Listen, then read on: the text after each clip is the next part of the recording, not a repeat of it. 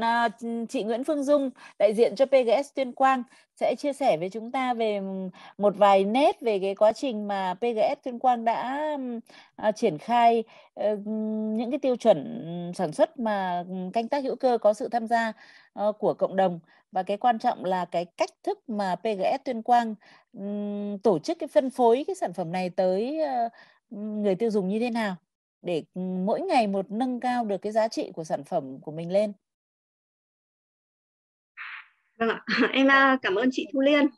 Dạ. Vâng, à, em xin à, kính chào quý vị khán giả, toàn thể các anh chị trong cái tọa buổi tọa đàm ngày hôm nay. Thì em cũng xin được tự giới thiệu. Em là Nguyễn Thị Phương Dung. Hiện nay thì em đang công tác tại Chi cục trồng trọt và bảo vệ thực vật ừ, tỉnh Tuyên Quang. À, em xin chia sẻ về cái PGS Tuyên Quang À, thì ờ, báo cáo với toàn thể quý vị là PGS Tuyên Quang được ra đời trong cái dự án mốc của Hiệp hội Nông nghiệp hữu cơ Việt Nam à, và được à, Sở Nông nghiệp Phát triển Nông thôn ủng hộ và à, trực tiếp cử cán tham gia cái lớp TOT và đã được hỗ trợ của dự án mốc đào tạo nông dân và đào tạo um, tiêu chuẩn và thành lập các uh, tổ nhóm. Uh, PGS Tuyên Quang thì được thành lập sau cái khóa đào tạo tháng 5 năm 2018 và đã hỗ trợ uh, giám sát uh, nông dân và cấp chứng nhận cho các nhóm nông dân đạt tiêu chuẩn. Uh, về uh, thực ra thì PGS Tuyên Quang hiện nay thì đang hoạt động trực thuộc dưới um, tổ chức ừ, Hội Nông nghiệp hữu cơ của Tuyên Quang. Hiện nay um, Hội Nông nghiệp hữu cơ Tuyên Quang thì cũng cũng xin chia sẻ với toàn thể quý vị là Hội Nông nghiệp hữu cơ Tuyên Quang là một cái tổ chức hội mà gần như là đầu tiên trong cả nước được thành lập à, cũng được ừ, tỉnh ủy ủy ban rất là quan tâm thành lập. Và ờ, sở nông nghiệp phát triển nông thôn thì sát cánh cùng với hội nông nghiệp và đã cử cán bộ rồi cử các đơn vị chuyên môn để đồng hành. À, về cấu trúc của PGS Tuyên Quang thì cũng uh, tương tự như cấu trúc của PGS Việt Nam. Cũng ba có ban điều phối có liên nhóm có nhóm nông dân và có các thành viên là nông dân. À, về cái um, PGS Tuyên Quang hiện nay ý, thì ờ, về quy mô thì hiện nay thì có ba liên nhóm liên nhóm Hàm Yên, liên nhóm Yên Sơn và Sơn Dương. Nhưng thực tế hoạt động hiện nay thì đang mới dừng lại ở, ở hai còn hai liên nhóm là Hàm Yên và Yên Sơn. Cái liên nhóm Sơn Dương thành lập sau khi mà um, dự án kết thúc ấy thì hiện nay cũng mới chỉ là hoạt động cầm chừng và cũng cái sản phẩm thì cũng còn nhỏ còn nhỏ lẻ. Và hiện nay thì tổng cái nhóm của chúng em hiện nay ý, thì đang có dạ. Dung chuyển, dung, dung chuyển slide đi em. Vâng ạ. À, hiện nay thì tổng diện tích của chúng em là đang có 59,8 ha à, trong đó thì đối với liên nhóm Hàm Yên ý, thì có 24,16 ha chủ yếu là sản phẩm cam à, trong đó ở liên nhóm Dung ơi Dung chưa chuyển chưa chuyển slide đâu em chuyển slide đi em chuyển rồi ạ Dung ở đây không nhìn thấy. Dung ơi, chị Dung chia sẻ cái slide ấy, chị Dung đừng chia sẻ phần này. Em chia sẻ rồi à? Dung tắt đi để chị chia sẻ cho. Phải chạy chứ. Thoát ra xong rồi chia sẻ lại, chị thoát ra xong chị em vẫn à. của em vẫn đang chạy bình thường ạ. Không, Dung thoát ra đi để chị chia sẻ cho. Của em đứng yên đấy. Thế à? Thế thì ở đây ờ, của ờ, em vẫn đang đang chia sẻ bình thường. Ừ, của em, em thoát ra.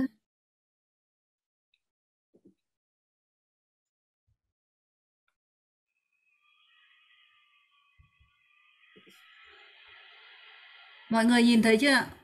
Đấy được rồi, bây giờ trang nhất. Đây vâng. là trang nhất. Vâng. Bây giờ Đó, em sẽ tiếp thế Dung rồi. Dung nói đi, Dung nói đi. Vâng ạ. Um... Cấu trúc của PGS. Vâng ạ, cấu trúc của PGS thì à, cũng tương tự với à, PGS Việt Nam ạ.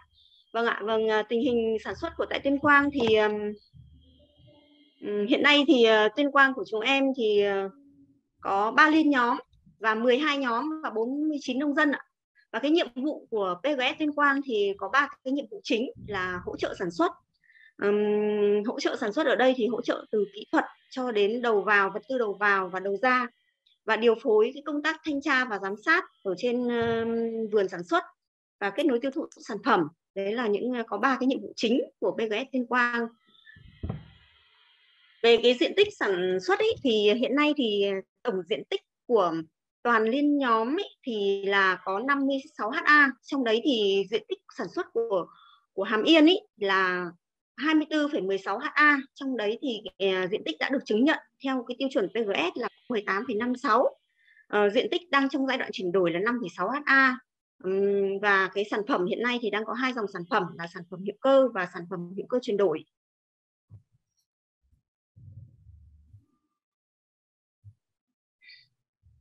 À, vâng, à, vâng. À,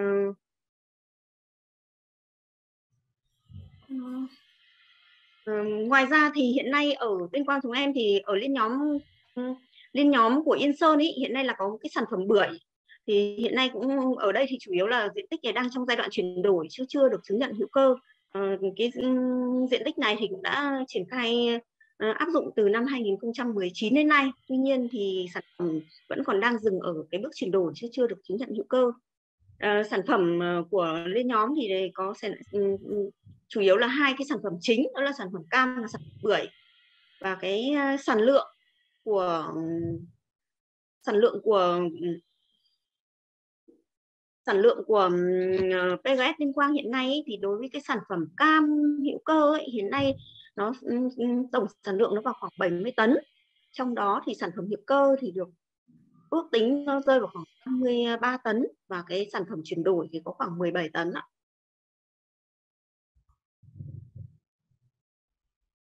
Vâng, cái uh, hiện nay thì, thì um, PGS Tuyên Quang ấy thực hiện cái việc thanh tra chứng nhận. Thì ờ, căn cũng dựa trên là um, các thanh tra viên là các nông dân. Và um, nông dân này thì được đào tạo nghiệp vụ về thanh tra. Ờ, nông dân tham gia vào quá trình thanh tra và kiểm tra chéo lẫn nhau tất cả các nông dân trong nhóm đều là các thành viên giám sát và quá trình tổ chức sản xuất của các nhóm nông dân à, đối với cái thanh tra chứng nhận tại PGS thì cái thủ tục à, tiến trình thanh ừ, tra ấy, thì có quy trình cụ thể à, và cái công cụ hỗ trợ uh, thanh tra ấy, thì là có bảng biểu và biểu mẫu cụ thể. Các thanh tra viên thì được đào tạo um, kỹ năng thanh tra và có sự uh, tô, tư vấn hỗ trợ kỹ thuật từ các từ nhóm điều phối. Ở đây thì ừ, cái việc mà xây dựng lập kế hoạch thanh tra thì là liên nhóm và uh, và P, uh, ban điều phối của PGS là hỗ trợ sẽ hỗ trợ để nông dân lập kế hoạch thanh tra. Nhưng cái việc thanh tra ấy thì sẽ bao giờ là cũng sẽ đi cùng là có um, có thành viên của liên nhóm hoặc là của PGS đi cùng với nông dân. Nhưng mà cái việc đấy thì cũng những năm đầu thì là là thường xuyên đi cùng nhưng à, ờ, từ năm 2020 đến 2021 ấy, thì là nhóm nông dân chủ động đã có kinh nghiệm rồi đã được giao quyền chủ động trong công tác thanh tra. Ừ, thanh tra này là thanh tra định kỳ một năm hai lần đấy ạ.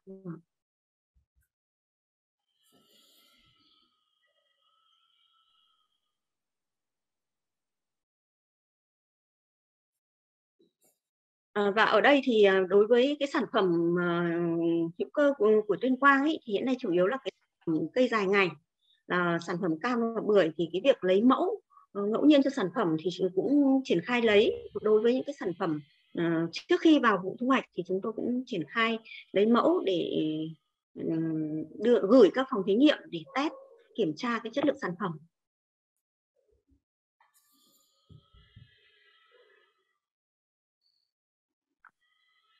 Um, sản phẩm lấy mẫu ấy, thì ờ, thường là sẽ lấy trước khi thu hoạch và đối với cái việc thanh tra của chúng tôi ấy, thì thanh tra thì chúng tôi sẽ ừ, đối với thanh tra định kỳ thì nó có kế hoạch rồi nhưng cái thanh tra đột xuất ấy, thì báo cáo với toàn thể quý vị đại biểu là ừ, đối với uh, sở nông nghiệp phát triển nông thôn thì gắn với gắn cái các ừ, các cái liên nhóm này cùng với giao nhiệm vụ bộ của chi cục rồi cán bộ của các uh, trung tâm dịch vụ gắn đồng thời đi đồng hành cùng với nông dân do vậy mà cái việc mà chúng kỹ thuật của chúng tôi thường xuyên lên vườn với nông dân thì gần như là nó một tháng có khi đôi ba lần cán bộ lên và nhiều khi chúng tôi đi là chúng tôi cũng sẽ không không báo trước và chủ yếu là chúng tôi đi là đi đột xuất và đi kiểm tra ừ, đột xuất đến vườn. Thì do vậy mà cái việc mà nắm bắt ở tại vườn ấy thì gần như là cán bộ kỹ thuật ờ, cán bộ của trung tâm dịch vụ là cũng uh, nắm rõ như lòng bàn tay luôn ạ. Vâng.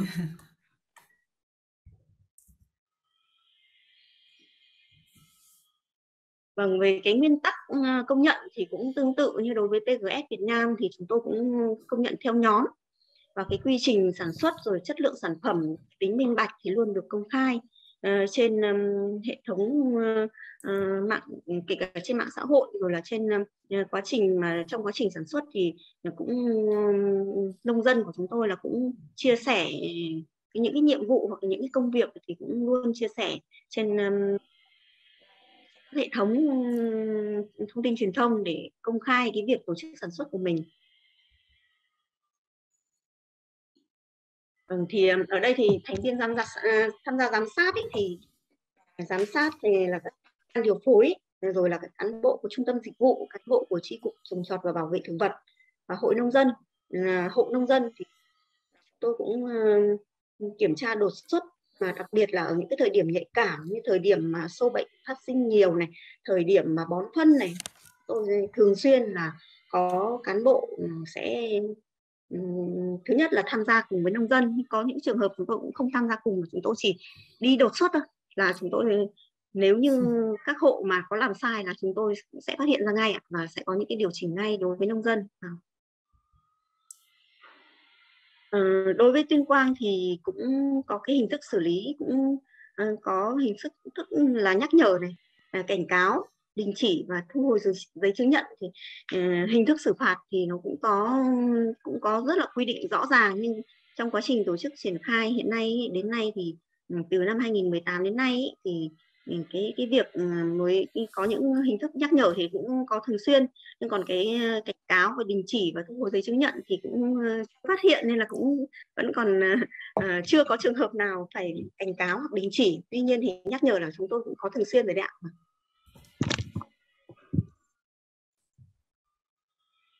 Vâng, đối với uh, uh, Tuyên Quang ấy, thì vận hành thì chúng tôi là vận hành theo chuỗi sản phẩm và quản lý cái tính minh bạch ở tất cả các khâu từ sản xuất, thu hoạch, đóng gói, vận chuyển và phân phối bán hàng. Ờ, à, về giá bán của các sản phẩm thì được được thống nhất chung cho từng thị trường và cũng có chính sách bán hàng cho từng nhà uh, cho nhà phân phối này, cho đại lý cấp 1 và đại lý cấp 2 là chúng tôi cũng có từng chính sách riêng đối với cái việc bán hàng ạ.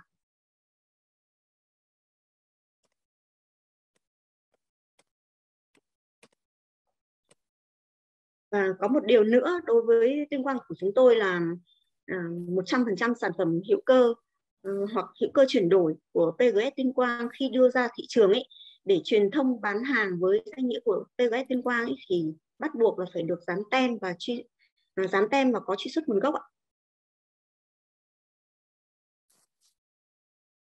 Và hiện nay thì à, thị trường tiêu thụ của sản phẩm cam hữu cơ của Tuyên Quang ấy thì Ờ, ừ, được bán chủ yếu là ở Hà Nội này, ở thành phố Hồ Chí Minh này, Hải Phòng, Đà Nẵng rồi à, Huế, Hội An là đều có.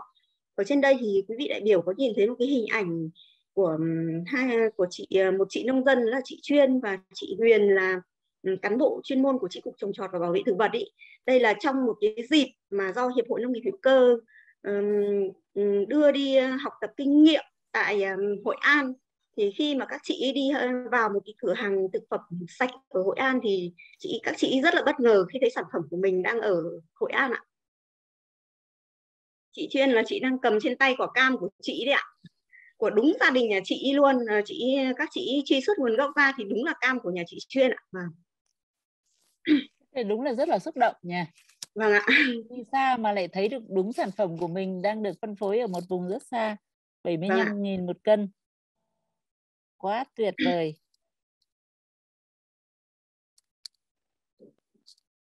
Vâng ạ, giá bán sản phẩm thì chúng em ờ, cũng đã và đây là cái hình ảnh mà cái hội nghị kết nối ờ, cung cầu tiêu thụ của cái sản phẩm hữu cơ cái này thì được um, tổ chức vào năm 2018 thì cũng từ năm 2018 đến nay thì ờ, uh, PGS Tuyên Quang cũng luôn duy trì uh, cái um, hội nghị những cái hội nghị kết nối uh, cung cầu đối với các nhà phân phối đối với các doanh nghiệp đối với các uh, tổ chức mà quan tâm đến sản phẩm hữu cơ thì chúng tôi cũng uh, thường xuyên là tổ chức là mời uh, tham dự. Trước khi mà vào vụ ấy, thì mời các tổ chức tham gia. Thứ nhất là thăm vườn cái hai là thăm vườn thăm um, cái hình thức uh, cái canh tác của nông dân rồi là thỏa thuận cái ờ, hình thức mua bán rồi trao đổi tiêu thụ thì gần như là năm nào thì PGS tuyên quang cố gắng để duy trì cái việc này à, năm nay thì tuy nhiên là cái do tình hình covid thì chúng tôi cũng đã cố, rất là cố gắng để tổ chức một cái buổi họp trên uh, zoom thì hôm vừa rồi chúng tôi cũng tổ chức cái uh, cũng kết quả cũng là ngoài mong đợi là um, các doanh nghiệp cũng đã cam kết là sẽ tiêu thụ 100% sản phẩm cho PGS Tuyên Quang trong cái vụ cam 2021 này ạ. Vâng.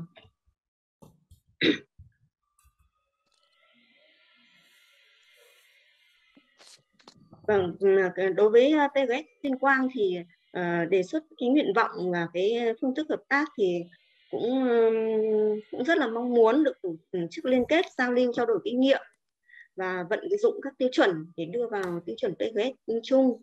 Cái thứ hai nữa là liên kết để hỗ trợ chia sẻ giúp nông dân trong tổ chức sản xuất đảm bảo uh, tiêu chuẩn và tiêu thụ sản phẩm hữu cơ.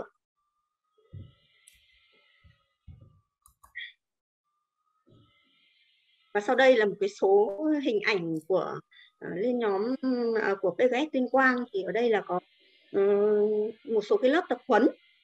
Uh, đây là cái lớp tập huấn về um, đào tạo SSS của um, của của VOA rồi là đây là cái lớp um, hình ảnh bên cạnh cái thảo luận này là của cái thanh tra uh, lớp đào, đào tạo thanh tra viên của của Tuyên Quang um, từ cái nguồn mà uh, đào tạo nông dân ạ. Vâng đây là vườn à, vườn cam của giai đoạn chuyển đổi đổi của nhà chị chuyên và của nhà anh à, anh à, thành ạ. Những cái hình ảnh khi mà chúng tôi đi vườn chúng tôi uh, um, chụp được. Đấy là những trên vườn thì thường xuyên là gặp những um, tổ kiến này rồi là hình ảnh nhện bắt mồi ăn thịt uh, thường xuyên xuất hiện hiện trên vườn. Ừ, với chúng tôi thì những ừ, làm cán bộ chuyên môn chúng tôi có có kinh nghiệm đi vườn mà. Nếu mà vào vườn mà không nhìn thấy con nhện nào ấy, thì chứng tỏ vườn đấy vừa mới có vấn đề gì đấy. Đấy nên là chúng tôi cũng thường xuyên là khi vào vườn là chúng tôi cũng quan tâm rất nhiều đến những cái thiên địch ở trên vườn. Nếu như không có thiên địch trên vườn là cũng phải hỏi lại là các bác có vừa phun thuốc hay là có vừa sử dụng cái gì trên vườn hay không hay là như thế nào đấy. Bởi vì cái này nó cũng là những cái kinh nghiệm đi vườn của cán bộ chuyên môn còn vâng, một kinh đây. nghiệm đi vườn nữa Dung ơi. Vâng ạ. Một kinh nghiệm đi vườn nữa là cầm theo cái cuốc thỉnh thoảng bổ lấy vài ờ, vài nhát ở chỗ đất ờ, ẩm ấy. Xem có con vâng run nào không? Vâng cái đấy thì thì uh, run hoặc là uh, ếch nhái là những cái việc đấy là thường xuyên uh, thường những cái việc đấy là bọn em cũng thường xuyên phải có đấy ạ. Và đây là hình ảnh của bác nông dân uh, anh Điệp mà anh ấy đứng rất là mãn nguyện với cái đống phân của anh ấy vì ủ đúng kỹ thuật nó ra đẹp quá đúng không vâng ạ vâng, đây là hình ảnh của các doanh nghiệp tham gia trong cái những cái buổi hội nghị uh, kết nối cung cầu đi thăm vườn uh, của nông dân trong cái nhóm hữu cơ Hàm Yên ạ. Vâng ạ, à, chị uh, chị Nhung có nhớ cái hình ảnh quả cam vẽ này không ạ? Nhớ chứ thì vì chính chị là người lấy lấy nó về. Của khách hàng ta vẽ hình ảnh quả cam này là được uh, truyền thông và có một khách hàng họ rất là yêu thích sản phẩm cam hữu cơ hàm yên và họ đã vẽ lên cái uh, chị chị đã vẽ lên cái hình ảnh cam này ạ. Vâng. từ tháng 3 năm 2019 vâng ạ. À. ở đây thì là những cái hình ảnh mà nông dân của chúng tôi nâng niu những quả cam tem truy xuất để à, đưa sản phẩm ra thị trường. Các anh các chị nhặt từng quả cam và dán từng tem ừ, dán tem từng quả cam một ạ. Sau khi mà đã ờ, được ờ, ừ, các thành viên giám sát thu hoạch ý, giám sát những cái quả nào không đạt chất lượng là phải loại ra xong sau đấy xếp hàng rồi mới được dán tem. Ừ, lọc đi lọc lại nhiều lần trước khi đưa vào thùng đóng hộp. Ở đây thì có một cái mà của liên nhóm Hàm Yên đang làm được là ở đây thì trong quá trình thu hoạch ấy, bởi vì do là cái diện tích cam của chúng tôi ở đây nó rất là lớn do vậy mà cái việc mà tổ chức sản xuất mà diện tích mà không không sản xuất song song ấy thì uh, chúng tôi cũng không, cái, cái cái cái tiêu chí mà sản xuất song song ấy ở đây thì chúng tôi uh, đã phải khắc phục bằng cái việc là um, trước khi vào vụ thì các hộ phải đi các hộ phải có một buổi gọi là đi uh, uh, đi thảo luận và chốt cái sản lượng ước sản lượng của hộ. Đăng ký sản lượng đăng ký sản đăng ký lượng sản lượng. Điều phối. Vâng. đăng ký sản lượng. Sau khi mà đăng ký sản lượng thì quá trình thu hoạch của các hộ ấy là sẽ um, đi cùng với đi quá trình thu hoạch thì là các hộ là đổi công với nhau. Trong quá trình thu hoạch vừa đổi công là để giảm cái chi phí sản xuất chi phí thu hoạch. Nhưng cái việc đổi công ở đây với trách nhiệm là để giám sát để không được cái trà trộn cái sản phẩm mà không phải là hữu cơ đưa vào trong quá trình thu hoạch. Do vậy mà cái việc giám sát này thì ừ, được uh, áp dụng và duy trì trong quá trình thực tế ở Hàm Yên là hiện nay là trăm phần trăm các hộ phải áp dụng cái việc này. Và nếu như các hộ mà không tham gia sản um, thu hoạch cùng ý, thì vẫn phải có mặt để giám sát trong quá trình mà uh, thu hái và dán tem rồi là loại bỏ các sản phẩm không đạt quy quách tiêu chuẩn để ra khỏi cái sản phẩm khi đưa ra thị trường vừa rồi thì là cái à, bài trình bày của à, PGS Tuyên Quang thì cũng ờ, rất là mong à, nhận được các cái ý kiến tham gia về phản hồi từ các anh các chị ạ. Vâng, cảm ơn chị Nguyễn Phương Dung. À, có thể nói là cái kinh nghiệm của PGS Tuyên Quang cũng rất là đáng chú ý ở cái chỗ là PGS Tuyên Quang cũng rất chú trọng cái công tác giám sát cũng như là cái công tác mà đả thông về mặt tư tưởng để cho bà con làm nào tuân thủ được đúng những cái yêu cầu của cái tiêu chuẩn PGS này và chắc chắn là nhờ có cái thương hiệu hữu cơ PGS mà cái việc tiêu thụ sản phẩm cam của Hàm Yên nó cũng tốt hơn và đặc biệt là với cái giá bán là 75k thì cũng là là tốt đấy ạ. Một cái giá khá là đáng mừng đấy. Mặc dù ừ. chúng tôi biết là cái cái cái sản lượng cam có múi cái những cái cây có múi ở ngoài miền Bắc này thì bây giờ nó đang rất là nhiều. Cái cái cái số lượng mà các tỉnh các địa phương trồng cây có múi đang rất nhiều. Nhưng mà vâng Tuyên Quang vẫn bán được với cái giá bán lẻ 75k là rất là được đấy. À, với uh, sản phẩm của cam hữu cơ của Hàm Yên Tuyên Quang ấy thì hiện nay thì đối với sản phẩm hữu cơ bán tại thị trường Hà Nội ấy, thì đang được bán lẻ với cái giá là 55.000 đồng trên 1 kg. Còn đối với thị trường từ miền Trung đổ vào, từ Đà Nẵng đổ vào đến Sài Gòn ấy thì được bán với cái giá là 75.000 đồng trên 1 kg. Đấy là cái giá bán lẻ Vâng, còn bán giá bán của các nhà phân phối hoặc các đại lý thì cũng sẽ có chính sách riêng nhưng đấy là giá bán lẻ trên thị trường ạ. Vâng.